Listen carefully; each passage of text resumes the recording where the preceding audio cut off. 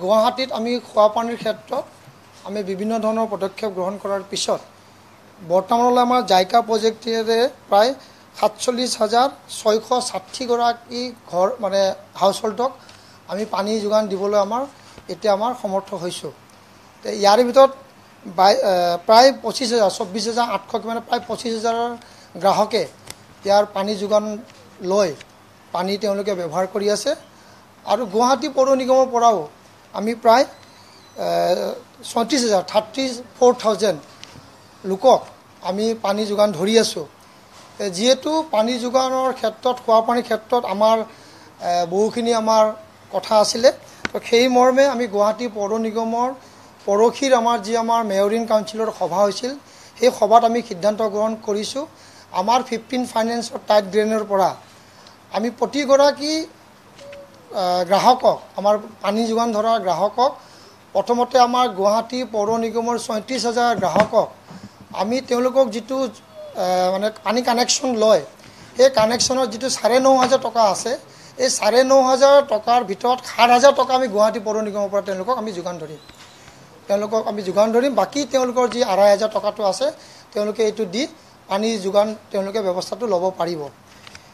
দ্বিতীয়তে আমাৰ যি আমাৰ জাইকাৰ যোগেদি হওক বা এল এন ডিৰ যোগেদি হওক বা আগন্তুক দিনত আমাৰ যি চাউথ ইষ্টৰ যি আমাৰ আছে দিছপুৰ অঞ্চলৰ ফালে তাৰে যিখিনি আমাৰ পানী যোগান ধৰিব যিসকল গ্ৰাহকে পানী ল'ব যাৰ যাৰ ৰেচন কাৰ্ড আছে এই ৰেচন কাৰ্ড থকা পৰিয়ালক আমি তেওঁলোকক আমি সাত হাজাৰ টকাকৈ সংযোগ কৰাৰ কাৰণে তেওঁলোকক আমি গুৱাহাটী পৌৰ নিগমৰ পৰা আমাক অনুদান হওক বা আৰ্থিক আমি এনেধৰণৰ ব্যৱস্থা গ্ৰহণ কৰিছোঁ। তো নিশ্চয়কৈ ইয়াৰ পৰা দিলে যিসকলৰ ৰেচন কাৰ্ড থকা যি যি যিসকল আমাৰ পৰিয়াল আছে তেওঁলোকৰ এই পানী যোগান ধৰা লোৱাৰ ক্ষেত্ৰত সুবিধা হ'ব। চাৰে ন হাজাৰ টকা যিটো পানী যোগান জল বোৰ্ডে নিৰ্ধাৰণ কৰিছে তাৰে পৰা সাত হাজাৰ টকা আমি গুৱাহাটী পৌৰ নিগমৰ পৰা দিম আৰু আঢ়ৈ হাজাৰ টকা তেওঁলোকে দি পানী যোগানটো ল'ব পাৰে আৰু খোৱা পানী বিশুদ্ধ খোৱা পানী তেওঁলোকে পাব পাৰিব। ইতিমধ্যে আমাৰ প্ৰায় জাইকাৰ দ্বাৰা এক লাখ পঁচিছ হাজাৰ টকা কি পঁচিছটা কানেকশ্যন যি দিয়াৰ ব্যৱস্থা গ্ৰহণ কৰিছে তাৰে প্ৰায় সাতচল্লিছ হাজাৰ ছয়শ ষাঠিটা যোগান ধৰাৰ কাৰণে ইতিমধ্যে তেওঁলোকৰ প্ৰকল্প ৰেডি হৈছে। প্ৰায় তাৰে প্ৰায় চৌব্বিছ হাজাৰ আঠশ কিমানে প্ৰায় পঁচিছ হাজাৰ মানে লৈছে। আৰু চাউথ ইষ্টত যিটো আমাৰ দিছপুৰ ফালে হ'ব তাতে প্ৰায় সাতষষ্ঠি সাতষষ্ঠি হাজাৰ ছিক্সটি ছেভেন থাউজেণ্ডে ল'ব পাৰিব। আৰু এল এন টিৰ পৰা প্ৰায় ত্ৰিছ হাজাৰ মানুহে এই ঘৰ কানেকশ্যনটো ল'ব পাৰিব। সেইকাৰণে সকলো ৰেচন কাৰ্ড থকা মানুহক আমি পৰিয়ালক আমি গুৱাহাটী পৌৰ নিগমৰ পৰা যিখিনি তেওঁলোকে চাৰে ন হাজাৰ টকা দিয়াৰ যি সংযোগী কৰা যি ফিজ আছে এই ফিজত আমি সাত হাজাৰ টকা আমি দিয়াৰ ব্যৱস্থা গ্ৰহণ কৰিম। আজি এইখিনি কাৰণে আমাৰ স্বাধীনতা দিৱসৰ প্ৰাক মুহূৰ্তত আমি গুৱাহাটীবাসী ৰাইজৰ কাৰণে এইখিনি আমি উচৰ্গা কৰিছোঁ। গুৱাহাটীবাসী ৰাইজৰ বিশুদ্ধ খোৱা পানী যোগান ধৰাৰ ক্ষেত্ৰত আৰু এখোজ যেন আমি আগুৱাই যাব পাৰোঁ তাৰ কাৰণে এনেধৰণৰ ব্যৱস্থা গ্ৰহণ কৰিছোঁ। চাৰে ন হাজাৰ টকাটো আছে তাৰে পৰা সাত হাজাৰ টকা কম কৰি তেওঁলোকে আঢ়ৈ হাজাৰ টকা দিব লাগিব। সাত হাজাৰ টকাটো তেওঁলোকক মানে ৰিবেট দিয়া নিচিনা হ'ল। সাত হাজাৰ টকাত আমি গুৱাহাটী পৌৰ নিগমৰ পৰা আমি জল বোৰ্ডক দি দিম। জল বোৰ্ডে সেইটো পাব।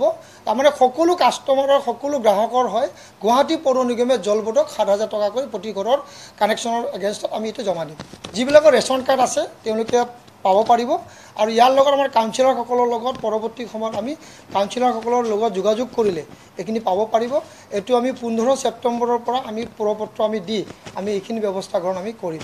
নাই জি এম চিৰ কানেকশ্যন থকাবিলাকক এইটো ৰেচন কাৰ্ড থাকক নাথাকক তেওঁলোকক আমি ডাইৰেক্টলি দিম। জি এম চি কানেকশ্যন চাৰে সাত হাজাৰ সাত হাজাৰ টকাকৈ জি এম চিৰ কানেকশ্যন থকাবিলাকক ৰেচন কাৰ্ড থাকক নাথাকক তেওঁলোকে আমাৰ পৰা যি কানেকশ্যন ইমান দিন চলি আছিল তেওঁলোকক আমি দিম। আৰু বাকী আঢ়ৈ হাজাৰ টকা তেওঁলোকে আৰু যেতিয়া যোনে অলৰেডি কানেকশ্যন লৈ লৈছে তেওঁলোকক যিটো পানীৰ যিটো বিল থাকিব বিলত চাগে এডজাষ্ট কৰি ল'ব সেইটো জল কৰিব বিলতো এডজাষ্ট কৰি ল'ব পাৰিব। জাইকা এল এন টি আমাৰ যিটো L N T Paschimbanga south east west west আছে অঁ আমাৰ যিটো মানে আমাৰ গুৱাহাটীৰ ভিতৰত ষাঠিটা ৱাৰ্ডৰ ভিতৰত যিটো আমাৰ এতিয়া এল এন টি আমাৰ কৰি আছে ধৰক আপোনাৰ দহ নম্বৰ ৱাৰ্ডত কৰি আছে আমাৰ এক নম্বৰ ৱাৰ্ডত কৰি আছে সেই সেই চাইডে মালিগাঁও অঞ্চল অঞ্চলৰ চাইডে হিঞ্জা যি আছে সেইটো সেইটোত আছে টোটেল আমাৰ আছে ত্ৰিছ হাজাৰ। এল এন টিৰ যোগেদি ত্ৰিছ হাজাৰ। আৰু আমাৰ যিটো আমাৰ নিউ এছিয়ান ডেভেলপমেণ্ট বেংকৰ পৰা হ'ব যিটো আমাৰ দিছপুৰ অঞ্চলত হ'ব তাৰে আমাৰ ছিক্সটি ছেভেন থাউজেণ্ড কানেকশ্যন দিব পাৰিব। আৰু আমাৰ জাইকা প্ৰজেক্ট মধ্য হেৰি হেৰি হেৰিৰ পৰা মানে এক লাখ পঁচিছ কৈছে পোন্ধৰ হাজাৰ আমাৰ নৰ্থ গুৱাহাটীৰ কাৰণে এৰিছে সেইটো আমি নিদিওঁ। এক লাখ দহ হাজাৰ পৰিয়ালৰ ৰেচন কাৰ্ড থকাৰ ভিতৰত আমি না এতিয়ালৈ জাইকাৰ যোগেদি সাতচল্লিছ হাজাৰ ছয়শ ষাঠিজনক দিব পৰা আছে। তাৰে প্ৰায় পঁচিছ হাজাৰ গ্ৰাহকে পানী যোগান ধৰি মানে লৈছে। তেওঁলোককো আমি সাত হাজাৰ টকাকৈ তেওঁলোকৰ বিলত এডজাষ্ট হোৱাত কৰি এইটো জল জল বোৰ্ডে সিদ্ধান্ত ল'ব কেনেকৈ দিব সেইটো তেওঁলোকৰ আমি তেওঁলোকৰ বাইছ মানে পঁচিছ হাজাৰ মানুহৰ যি আমাৰ পইচা আছে এইটো আমি তেওঁলোকৰ মানে একাউণ্টছত আমি ট্ৰেন্সফাৰ কৰি দিম। এল এন টিত ত্ৰিছ হাজাৰ হ'ব। এতিয়ালৈ কানেকশ্যনটো চলি আছে। হোৱা নাই। যেতিয়া হ'ব তেওঁলোকক আমি ত্ৰিছ হাজাৰ আমি দি দিম। এটি Asian new new general sixty seven thousand. সেইটোৰ কাম চলিছে ফাৰ্ষ্ট ফেজ শেষ হৈছে ছেকেণ্ড ফেজৰ পৰা আৰু এইটো জলবোৰ্ডে বিশেষভাৱে আপোনালোকক ক'ব পাৰিব জলবোৰ্ডৰ কাম আৰম্ভ হৈছে তাতে। আৰু সেইখিনি কৰিলে তো নিশ্চয়কৈ ছিক্সটি ছেভেন থাউজেণ্ডৰ ৰেচন কাৰ্ড থকা মানুহখিনিক আমি তেওঁলোকক আমি যোগান ধৰিম। প্ৰচিডিউৰটো আমাৰ কাউন্সিলৰ লগত আমি প্ৰ প্ৰ পত্ৰ দিব লাগিব প্ৰ পত্ৰ আমি যোগান ধৰিম। সেইকাৰণে আমি অহা ছেপ্টেম্বৰৰ পোন্ধৰ তাৰিখৰ পৰা এইখিনি ব্যৱস্থা আমি কৰাৰ কাৰণে ব্যৱস্থা গ্ৰহণ কৰিম। কৃত্ৰিম বানপানীৰ ক্ষেত্ৰত আমাৰ মাননীয় কাৰণ ইতিমধ্যে মই ক'ব বিচাৰোঁ যে আমাৰ এইটো আজি সুন্দৰ আমি এটা আলোচনাৰ মাধ্যমে আমি ওলাইছোঁ। এইটো ক'লে এইটো তল পৰিব পাৰে। আমি পৰৱৰ্তী সময়ত আমি অহা সপ্তাহৰ ভিতৰত আমি আকৌ জি এম চিৰ পৰা আমি যিখিনি আমি ডেভেলপমেণ্ট কাম আমি হাতত লৈছোঁ অহা নতুন বছৰৰ কাৰণে এই এই বছৰটোৰ কাৰণে যোৱা মানে ইলেকশ্যনৰ পিছত যিটো আমাৰ নতুন বছৰ আমি লৈছোঁ তাত আমি কৃত্ৰিম বানপানীৰ ক্ষেত্ৰত আমি যোৱাকালি আমি চেমিনাৰ কৰিছোঁ আৰু আগন্তুক দিনত আমি ইয়াৰ কাৰণে ব্যৱস্থা গ্ৰহণ আমি কৰিম। ঊনৈছ তাৰিখেও আমাৰ সভা আছে মিছন ফ্লাড ফ্ৰীৰ এখন সভা আছে তাতো আমি কথা পাতিম। এতিয়ালৈ আমি মিছন ফ্লাড ফ্ৰীৰ ক্ষেত্ৰতে হওক বা কৃত্ৰিম বানপানীৰ ক্ষেত্ৰত আমি বিভিন্ন ধৰণৰ আমি আলোচনা কৰিছোঁ। পৰৱৰ্তী সময়ত আমি ইয়াৰ পদক্ষেপ কেনেকৈ গ্ৰহণ কৰিব এইটো আমি কৰিম। কিন্তু ইয়াৰ আগতে আমাৰ মাননীয় মুখ্যমন্ত্ৰী ডাঙৰীয়া আৰু আমাৰ মন্ত্ৰী ডাঙৰীয়া যিখিনি কথা কৈছে একেবাৰে শুদ্ধ কথা সুন্দৰভাৱে কৈছে আৰু তেওঁলোকে অল অলৰেডি বুজাই দিছে। আৰু তাৰ ওপৰত আমাৰ ক'ব লগা নাই। আৰু তেওঁলোকৰ নিৰ্দেশনতে আৰু তেওঁলোকৰ মাৰ্গদৰ্শনতে আমি কাম কৰি আছোঁ। আৰু এই যি আমি এতিয়া পানীৰ আমি যিটো আমি সাত হাজাৰ টকাকৈ প্ৰতিগৰাকী ৰেচন কাৰ্ড থকা ব্যক্তিকে হওক আৰু আমাৰ যি জি এম চিৰ আগৰ কি গ্ৰাহকে হওক তেওঁলোকৰ পৰামৰ্শমতে মাননীয় মুখ্যমন্ত্ৰী ডক্টৰ হিমন্ত বিশ্ব শৰ্মা ডাঙৰীয়াৰ পৰামৰ্শমতে আৰু মন্ত্ৰী মহোদয়ৰ তত্বাৱধানতে আমি এনেধৰণৰ পদক্ষেপ আমি গ্ৰহণ কৰিছোঁ।